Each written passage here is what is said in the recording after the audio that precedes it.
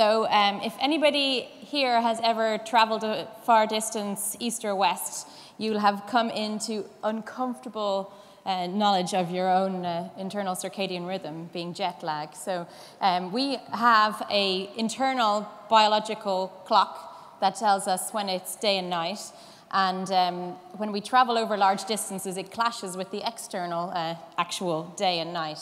And so, uh, but as you know, if you've ever had jet lag, your body will recover after a few days as it receives the signal uh, from the outside world in the form of sunlight and starts to uh, reset that clock. So that internal uh, body clock is controlled by several genes, one of them very cleverly called clock. And uh, period, and cycle. And these are genes that were discovered by our next speaker, Michael Rosbash, who was working in fruit flies, Drosophila at the time. But as we already mentioned, um, biology and evolution and genetics is so intertwined that these are actually basically the same genes that we also find regulating our internal uh, body clock. And for this extraordinary work, and Michael Rosbash was awarded the Nobel Prize last year for his work on, so I think the phrase was, uh, discoveries of the molecular mechanisms controlling the circadian rhythm. And so I'm very much looking forward to hearing his talk now and to hear what other uh, light he can shed on our internal body clock. So thank you very much for coming. Thank you very much.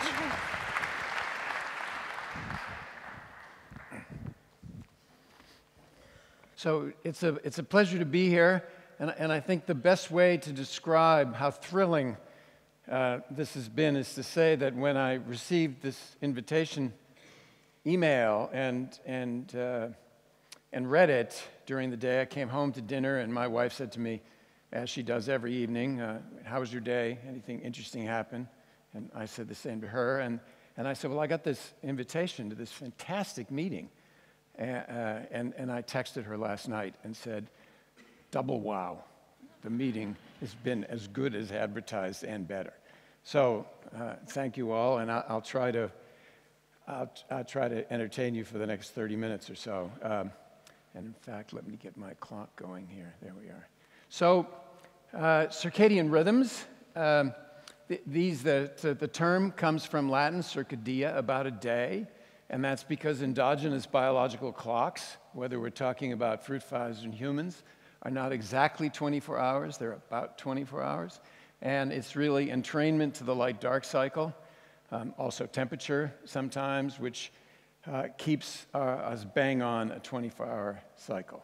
And, and the purpose of this, the major purpose of this, uh, the Red Queen story is not irrelevant, is uh, the early bird gets the worm, and the early worm avoids being eaten by the bird. So, uh, this is really to know what's going to happen. And there's some evidence that this also governs what I call internal coherence, namely uh, what things happen uh, in what order, which is uh, often more efficient or more advantageous than having them all happen at the same time. And so um, it's really a long, long time ago that circadian rhythms arose uh, before uh, the atmosphere had anything like its current gaseous constitution, and of course, before nutrition uh, was anything like uh, what, it, what is available today. And uh, the, the oldest known clock um, is present in cyanobacteria. Um, I think I saw a picture of cyanobacteria from Ottoline before.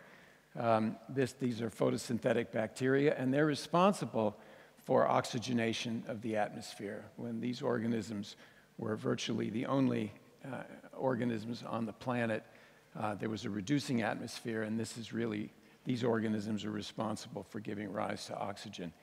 And, and this uh, mention of cyanobacteria um, raises the point that circadian rhythms have arisen multiple times in evolution, uh, as indicated by the fact that the clocks, which keep time in bacteria and in plants and in animals, are different. If you will, there's an analog clock in cyanobacteria and a digital clock in animals. That's, that's, that's simply a, a metaphor for how different the timekeeping machines are, not a, not a, a value judgment. Um, but these, because there's no connector between these different kingdoms, that is, the, the proteins and, and mechanisms are really entirely different, um, that they must have arisen multiple times, underscoring uh, how important this mechanism is for life. And having mentioned uh, evolution, I, I, I, want to say a word about uh, physicists and, and biology, um, Schrodinger being perhaps a notable exception. I, think evolution um, is, is, is a real stumbling block for people who have grown up in a, in a quantitative discipline or done math or physics because uh, life really is an unbelievably clunky Rube Goldberg device. And, and uh, when you look at some of these things and you, um, and, and you let, let's say, make some modest progress toward demystification, you think, my Lord, who thought up that business? That is unbelievable. And I must say, sex being the great uh, example of such a thing. Um, and so uh, it's, it's, it, it, it boggles the mind and it must be approached empirically. You can't think your way through this uh, ab initio. And, and I think that has created a real, a real stumbling block. And, and on that note, a segue, um, is, is this quote from Sidney Brenner, and we've this, this, this general idea, especially the importance of new methods, new machines, new techniques, has, has come up previously. And, and I'm, a, I'm a, an advocate of this general principle that is, science gets pushed forward for new, by new technical developments, uh, new discoveries, and new ideas, probably in that order. And I think what, um, what, what uh, many of these discoveries are accidental. Um, it, it, the the uh, transforming principle in 1928, really the, let's say, the true beginning of, of uh, genetics and DNA was an accidental, was an accidental discovery. Um, and uh, often in the laboratory, the things that are most interesting and actually lead to real ideas that have some legs, although much less than 50% of the time, I would say, uh, come from some discovery, which you then have to track down and think about how, how, how, did, that, uh, how did that come about? Why is that band why is that strange band uh, on the gel? And ideas without experimental grounding, I think, are really overrated. And so uh, on Sunday, um, I was visiting this museum in, in uh, I can never pronounce that word, um, approximately, um, the, the city in Poland, which used to be Breslau in Germany. And I took a picture of this picture of uh, Erwin Schrödinger, which is in this museum. And the reason I was visiting Breslau was because I'd never been to the city. And my father's last job, the last place he lived in Germany before emigrating to the United States, was in Breslau. And I was trying to trace down where he worked and the home and so forth and so on. And so, um, as, a, as a political commentary and perhaps to, to bridge a bit to Schrodinger's move to Ireland, uh, something that um, I mentioned uh, this past December in Stockholm. Um, it's notable that uh, four of the eight Americans who were there uh, were immigrants or first generation Americans, and this was my dad's uh, visa. So, back to circadian rhythms um, and, and speaking about discoveries, locomotor activity rhythms, the sleep wake cycle, if you will, of a hamster shown here. Um, on the top, a free running rhythm uh, that is in constant darkness, which, as you see, drifts a bit every day, a little bit shorter, starts a little earlier, ends a little earlier because the endogenous rhythm of the animal is about 22 and a half hours. But if in a light dark cycle, on the bottom graph, it's exactly 24 hours. And so the, I need to sort of emphasize here that this really is an incredible phenotype. It actually seduced me into the field um, because every animal is almost identical to every other one. And this is unprecedented in behavioral research. You don't have to study a population, which means you can really pick out a, a single animal. And this is analogous, of course, to location, location, location, the real estate uh, mantra. And so we, we assay uh, fruit flies, their locomotor activity in, in a tube. The flies can run back and forth in the tube. And um, this was uh, our original monitoring machine from the 80s, ours being uh, meaning Jeff Hall and myself, uh, with whom I collaborated and shared this prize. Uh, and, and Mike Young's lab used a very similar apparatus, and so there's an infrared light beam on one side of each tube and a photocell on the other side, and the flies can't see in the infrared, so they're in constant darkness. But you, you, it's a beam break device, and you can very easily measure their activity. And so this, this story really goes back to Konopka and Benzer at Caltech. Seymour Benzer was one of, of these uh, uh, remarkable physicists who had uh, a, a, love and a flair for biology, and he was an, an incredible empiricist. He loved making little devices to measure stuff. Um, and, and, uh, and Ron Konopka, as a graduate student at Caltech, brought the circadian problem to Seymour. He'd been fascinated by this problem as an undergraduate, and he said, you know, we should really, we should really study this together in your lab. And so this, this, um, this makes uh, what's an obvious point to many of you, perhaps not to the youngest in the audience, that, that using genetics is not here to describe uh, how different is my circadian rhythm from yours? And the answer is maybe a little bit, but not much.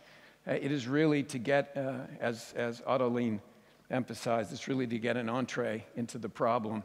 What's the nature of the machine?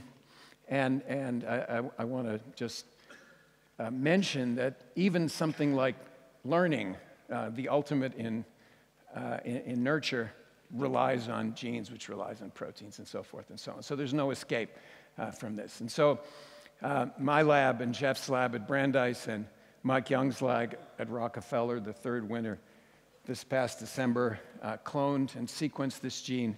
And, and we thought this would uh, give us uh, uh, this would give us clarity, and, and it didn't because it was early days of DNA sequencing, I should say. At least that was one reason. Uh, and, and so there were no relatives in the database.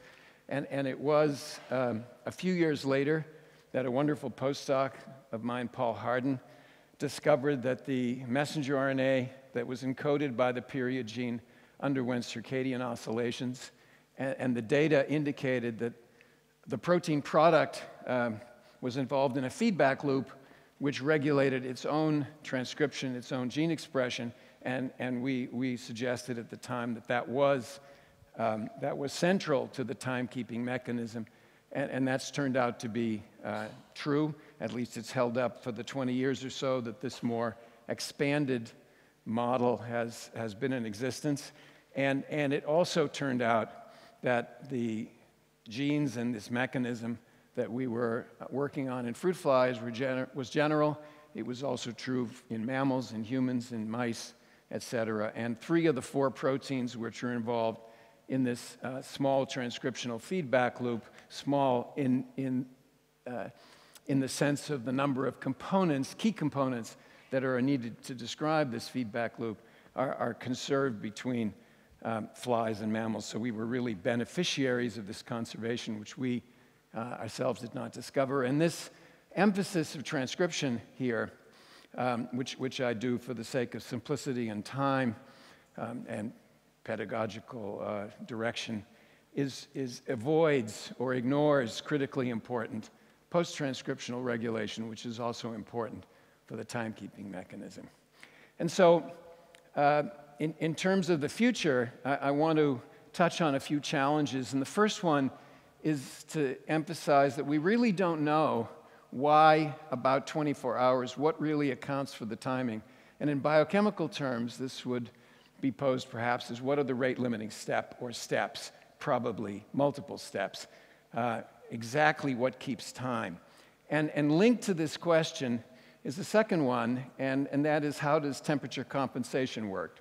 So I left this uh, concept uh, out of the introductory slide, but the circadian period, the endogenous period of an animal, perhaps a mammalian tissue in culture to avoid homeothermic regulation, or a fruit fly is essentially independent of temperature. So the Q10 is almost exactly 1.0. There's no change. This is virtually unprecedented in physiology. And, and this, mean, this makes sense. This makes teleological sense or teleonomic sense, perhaps I should say, um, because uh, because if, if, you're, if you, you don't want your watch to go nuts when a, uh, a cold front sweeps into New England overnight and the temperature changes by 10 degrees centigrade. So the, the timekeeper should be temperature insensitive, but how that works is not known. And it's probably linked to the first question that is, the rate limiting steps themselves are probably temperature uh, insensitive. So the, the, the, second challenge is uh, levering, leveraging this knowledge about circadian rhythms to improve human health. And uh, as, as, a, as a backdrop for this challenge, uh, I, I, need to sort of say in pictorial form here that the circadian clock affects virtual, virtually all aspects of animal uh, and human physiology. So everything that we do, um, it has a, has a circa 24 hour oscillating uh, component to it. And, and the question arises, of course, why is so much of physiology affected? And, the answer lies in two very simple principles. One is that within individual cells, within uh, a, a, a, mammalian fibroblast, for example, or uh, a fruit fly neuron, this, this core transcriptional feedback loop regulates directly or somewhat indirectly hundreds or thousands of messenger RNAs.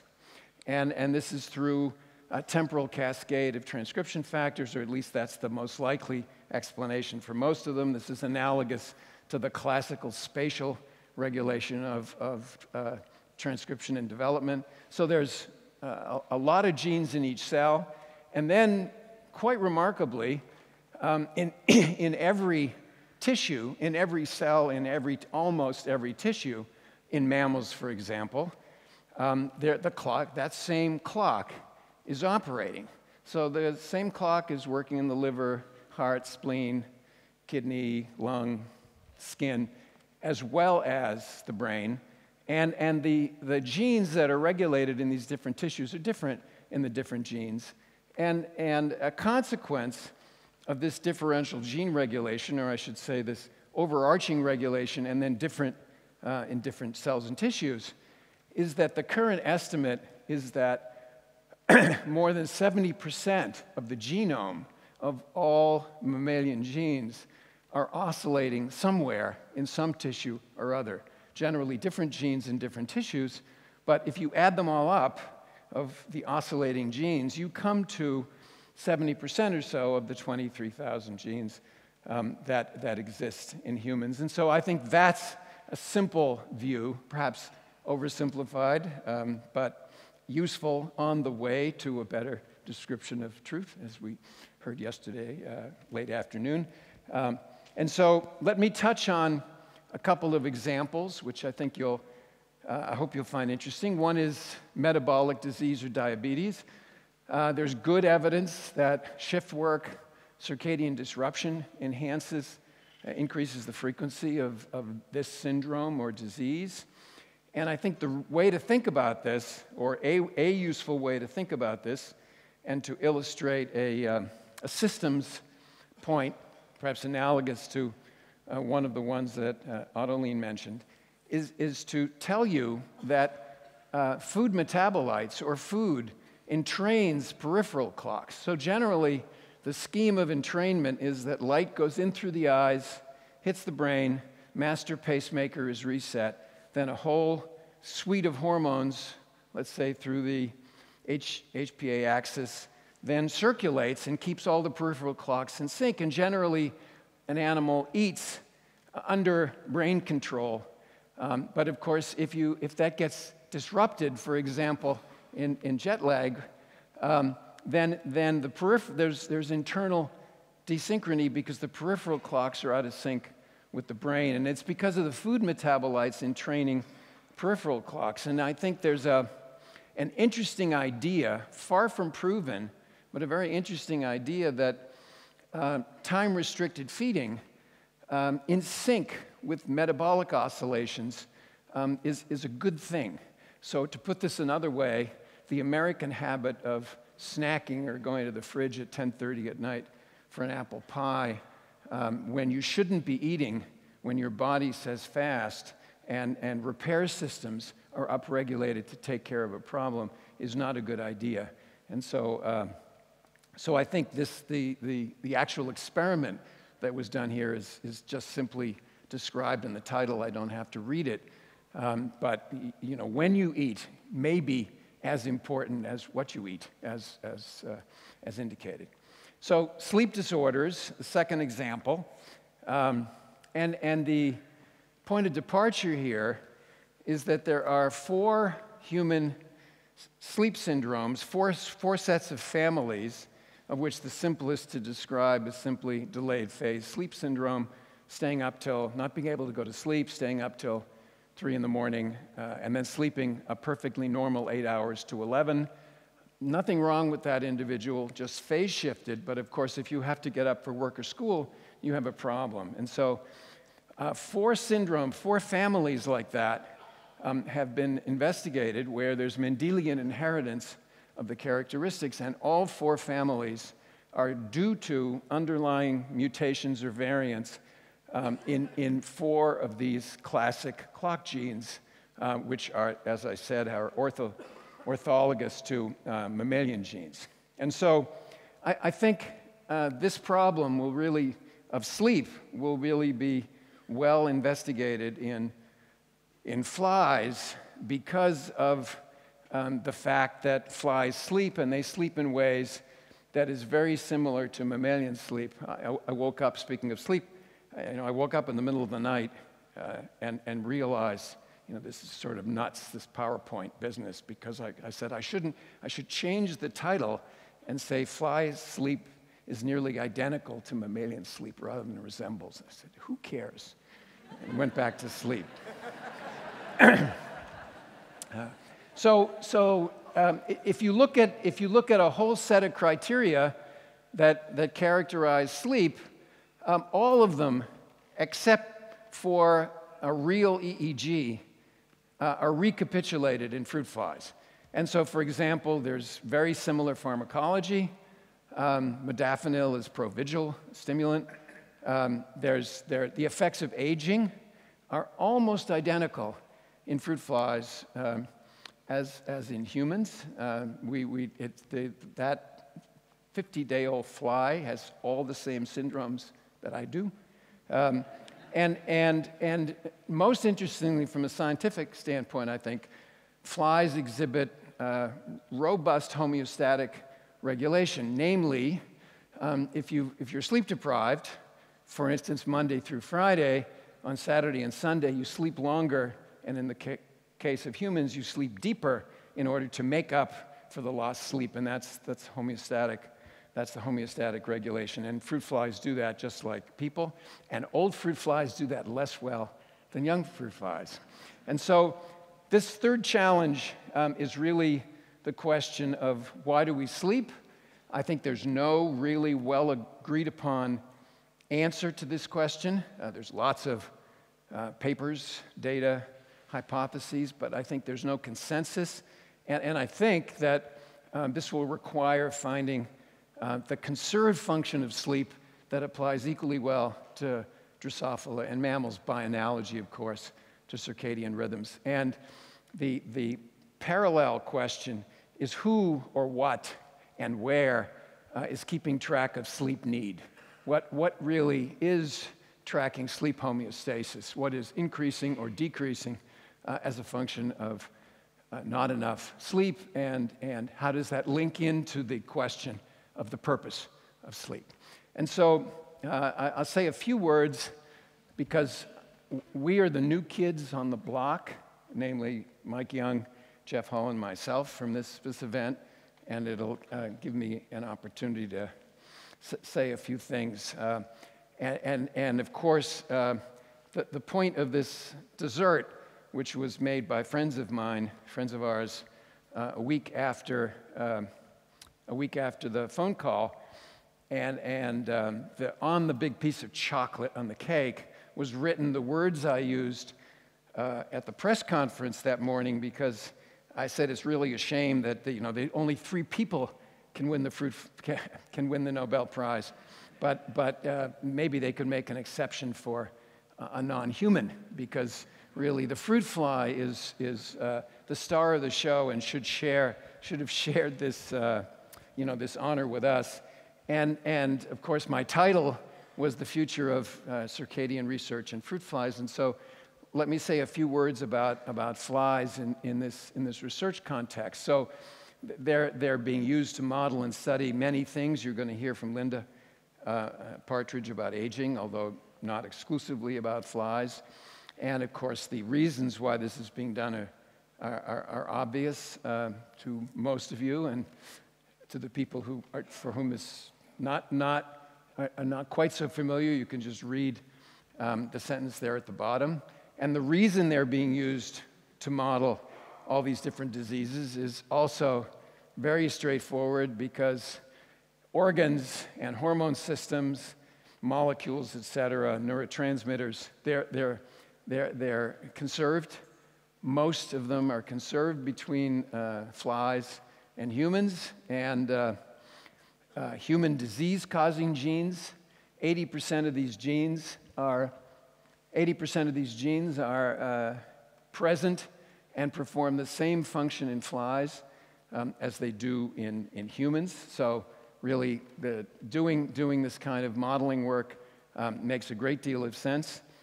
Uh, despite um, what I might call this translational perspective, that is thinking about disease, human disease, it's really basic science, which has been the, the, uh, the bedrock or the real contribution of, of uh, fruit flies. And uh, as uh, summarized here, this is the fifth basic science Nobel Prize uh, for the fruit fly 2017. Um, after these, these, this, this, group of pioneers. And uh, um, the, the, uh, I think a frontier, a basic science frontier of the fruit fly, is really uh, due to the fact that Drosophila has about a million times fewer neurons in its brain, in its tiny brain, uh, than, than uh, humans. And, and, I was struck by uh, Saul's uh, five Nobel Prizes for 302 neurons. And I was trying to do the calculation of how many Nobel Prizes and Nobel Prize winners divided by 100,000, and should, should you get higher marks for a bigger ratio or a smaller ratio? Um, so the, the, uh, this, is, this is the size of a fruit fly brain uh, superimposed on a single rat cortical column. So, so we're really talking about a remarkably uh, smaller organ. And, and yet, despite this, the fly has this incredibly sophisticated behavioral repertoire uh, in which these very basic principles, which are, are uh, uh, central to our sense of being, learning and memory, aggression, motivation, mating and courtship, all of these different processes are, are being studied to great effect um, in, in fruit flies. And just to give you a snapshot of, uh, of circadian behavior and its relationship to the nervous, nervous system. This is a, a classic locomotor activity profile of fruit flies in a light dark cycle under standard conditions, if you will. And, and the flies become active in the morning in anticipation of the discontinuous light dark transition in the incubator. Right? It, it knows that the lights are going to snap on and it ramps up activity in advance of that. There's a, a, a siesta in the middle of the day. There's an evening peak of activity again in anticipation of the lights snapping off, and then, and then the animals uh, sl- sleep at night. And, and this, this, this um, periods of quiescence or sleep, the middle of the day, for example, or why when, um, when you have a cocktail at 2 in the afternoon, if you're fortunate enough to be able to do that, you have no mosquito problem. But if you have a cocktail at 7 at night, uh, at the peak of activity, you have a lot of mosquito problems. Same, same pattern for most insects. And so this activity pattern is directed, driven, controlled by only 75 pairs of central brain neurons. So the, in the fruit fly brain, of those 100,000 neurons, there are only 75 in which this molecular program is operating uh, in, in, the, in the red stained cells. And yet you can see from the dorsal projections stained in green there uh, with the surrogate to the neuropeptide, which is expressed in those cells, that there, are elaborate, there is elaborate anatomy and processes despite the small size, um, despite the small size of the brain. So, so the idea is that this, this small brain will really facilitate exploring relationships. And I should just say, from a, from a gene expression point of view, that when you look at the genes that are expressed in these different circadian neurons, they're very different, the different classes of neurons, remarkably different. And then when you look across time, when you look dynamically at the gene expression, they're even more different. So, so you really need temporal information, dynamic information, if you will, in, in order to really define, even at the gene expression level, cell type. And so I think in about two to three years, thanks to, mostly thanks to Janelia Farm and the efforts there, we'll have a complete wiring diagram of all synaptic connections uh, in the central brain of the fly, and all of the tools are available for doing all the kinds of sophisticated experiments um, that you've seen presented here from other animals, in particular, uh, in particular mammals. And so, a few words. Uh, I, I, this is my current lab, and, and of course, I, I need to thank for my, for my uh, uh, unbelievably fortunate career. I need to thank the people uh, who have worked, worked in my lab. I want to say that um, in, in, these, uh, in this event in the past year, um, eight of the 10 Nobel Prize science winners were, were uh, American guys, uh, as I say, you know, senior, senior, uh, senior people. And, and the point of the age here, or I should say the first point, is that we really benefited from having grown up in an absolutely golden era in the United States, this post war era, when, when research was, was generously supported and basic research was generously supported.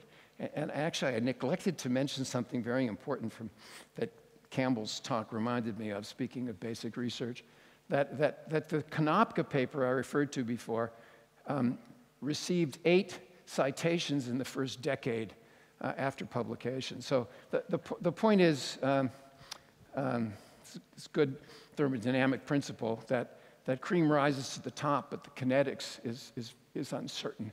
So, so one, should be, one, should be, one should be circumspect about, about uh, giving, giving, uh, uh, giving marks to, to contributions. And, and so this was a golden era, and the physicists even benefited more than we did from, from this, this uh, federal, uh, federal funding and federal patience. The, the guys who won the physics prize this past year was for observing uh, the gravitational waves that Einstein predicted 100 years previously. And, and they went 50 years working together without succeeding. And, and they were supported by the NSF for 50 years, uh, writing essentially the same renewal grant application every year. Um, and, and of course, patience was rewarded. And so, uh, as a final note, um, I say a word about um, the banquet and old and old white guys. We, we got a, and biology and physicists, we, we got emails um, a month before, and they said between the ceremony and the banquet, um, there'll be an opportunity to go to the toilet. and, and, uh, and we thought, well, that's strange. And so, you know, we wrote immediately back, huh? How come? And, they, and the very nice woman in charge said, well, at the head table, um, where you'll be sitting at the banquet, you're not allowed to get up until the king gets up. And, and the dinner lasts four and a half hours. Um, and so there, there was a, uh, and of course, hence the aging, hence the aging um, com- male and aging component uh, t- to, the, to the backdrop. And, and, and I, uh, we were all incredibly worried about this, and I asked, I asked uh, the prince, the king's son, um, over cocktails beforehand, does, doesn't he have to get up in those four and a half hours? And like many 35 year old children of distinguished uh, parents, uh, he, he, and he used uh, an epithet which I won't repeat, but he, he just said, He's impossible. The guy has no basic needs. Um, and so, and so the, the, the, the, key to this was, was uh, the biologists emailing the physicists and saying, okay, I'm going to explain to you about diuretics. Who is going to put one in the king's drink? um, and so, so, so, so, so finally, as you said, as, as, as uh, was mentioned in the introduction, I, I, worked a long time on this gene called period or per, and, and they give you an attache in, in uh, Sweden. And, and this was our attache, this delightful man whose name was Per. And so, so the point is, you, we have lived a charmed existence, and uh, you know, it's, it's all been an incredibly fortunate ride. And thank you very much for the attention.